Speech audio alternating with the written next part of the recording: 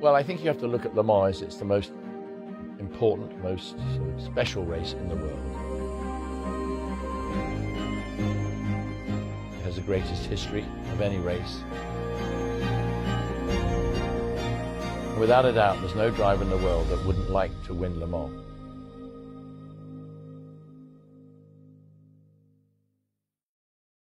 All right, Derek, thank you for having me to have a chat. It's to me about this. No, it's very much a pleasure. Thank you. What was Le Mans like? Your, your first, your first. Was it was it daunting? Was it any different to any other race you've been been in? Well, I think you have to look at Le Mans. It's the most important, most sort of well special race in the world. Um, it has the greatest history of any race, and it's 24 hours, and it's an endurance race.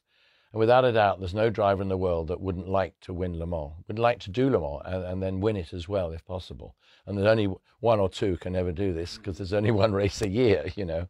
But uh, it was very important to do it for me.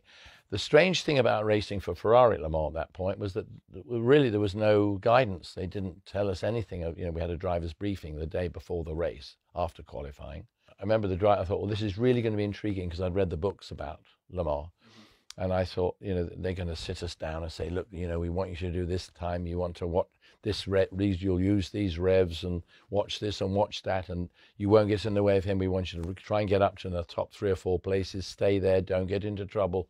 I expected that sort of, you know, a, a sort of a guidance. And we just went in and they said, okay, the race is starting at three o'clock or four o'clock tomorrow afternoon. Uh, don't forget your overalls and so on and so forth. And that's it. And I walked out with, with Ronnie. I said, well, that wasn't very good. We've never done them all before, and they're still not telling us. It's quite a lot. Yeah. I don't know that anybody do's can really guide you, like I couldn't guide you, but um, you know, I mean, I suppose if I was asked to guide you, I could give you some guidance now with my experience, but with all their experience, they couldn't help me out. So Ronnie, I went off, and it didn't really matter. I mean, they didn't say we want you to keep out of the way of the other team. We don't want you to do this. They didn't say don't take the lead in the race, hang back into third place. And it, it, we, we sort of went into the race going, well, what are we going to do? We just drive fast and hope we win, which we didn't. So for you, what what, what makes Le Mans so special? What makes it stand out up here? you know, it was a, it wasn't a race I ever wanted to do because my dream was to be a Formula One driver, as it is all of us really. Mhm. And we came through that route, three, two, and one. And Le Mans had no interest in. But I remember I used to listen to Stirling Moss when he drove there, and, and, and you know when I was a kid, listened to him on t- on the radio and stuff like that when I was at school. But it never really had that much appeal to me. It was Formula One I wanted to do. But then when you get there to do it, and you you see all the history there, and it really is the most important race in the world. And only when you drive in it and get involved with the teams and the sponsors do you realize how vital it is. And hmm. it's, it's more vital than anything. And it's strange thing is you talk to a lot of F1 drivers over the years. I wouldn't say everybody, but they all would love to have had Le Mans hmm. there as a victory on wonder why Dad never had a go at it. Well, he, he, sure I he had the opportunity. well, I know. He, well, I mean, he, he could have. done- I mean, the he, I won the. Can you imagine if I'd driven with him the year after? We drove together. Well, he was in our team in '74, in the Mirage, which I did mention. to Yeah, you. yeah, yeah. Uh, the, uh, the, it- it's a, car- uh, yeah, the, in that car there, the second picture down. See it on the left? This one here. Yeah, that's Jacky and I winning in '75.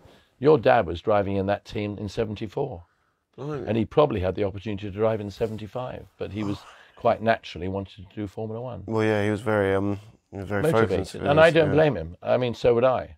It didn't mean as much, but and and um, you know, I, I actually drove. I, I, wonder actually, why after his retirement. Well, I suppose after his retirement, he, he didn't want to drive another racing car I again. think don't it had enough. The, Yeah. the last thing he needed was 24 hours. Yeah, exactly. In a yeah, way, pretty- so it's he very was, so he was tired. I think. I think. uh, Yeah.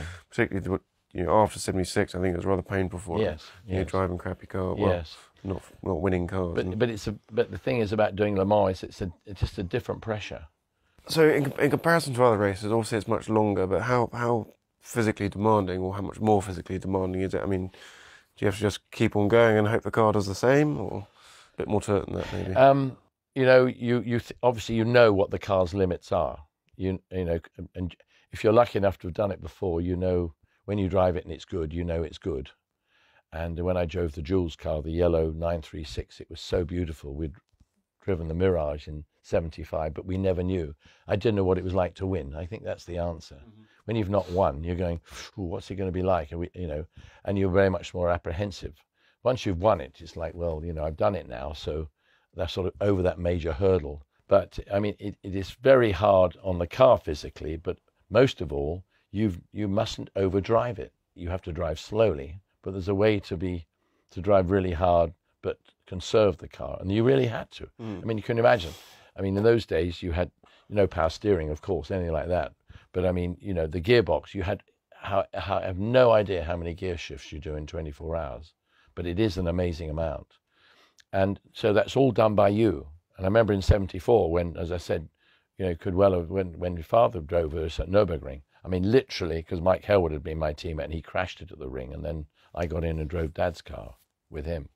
But um, at Le Mans that year, I came in after three hours and I said to Mike, he said, How is it? She was leaping in. And I said, Well, I said, I don't think we're going to last. I said, It's really snitchy, snicky into third gear. It really doesn't like dropping into third. He said, Oh, right, we'll be home for dinner then. But of course, we carried on and finished fourth. but because we took it easy, we, we took the shifting easy. You had to watch the revs, you had to watch the fuel consumption, but you still drove it flat out in the corners. Just that you might have to back off on the straights and get a tow off a 911 to save a bit of fuel, that sort of thing. They varied over which years, but it was you always had a limitation of fuel, and that made it interesting. I mean, literally in the middle of the steering wheel in in '84 and five, in the 962s, we had a thing the size of a matchbox lid, if you like, in that middle bit of the wheel, because we didn't have all those buttons they have now, mm-hmm. but just in the middle of the three-spoke wheel. And on that, it would have 11, 12, 13 written across the top, like that wide, across the top. And then down the side, it'd be 1 to 13, which is the number of laps that you were going to do on a tank for. You might do. So we, have talked about prep for the race. Yeah. Now, in so in the race, any any tips in particular, little bits of advice, not too much because I'll forget it all, but any, any key bullet points for me you can always ask me again, you know. um, um, one thing is I never slept. So I, I, I wouldn't be able to do that, I don't think. Pardon? I wouldn't be able to do that. No, I, don't. Well, I couldn't. I find I'm too keyed up when I get out.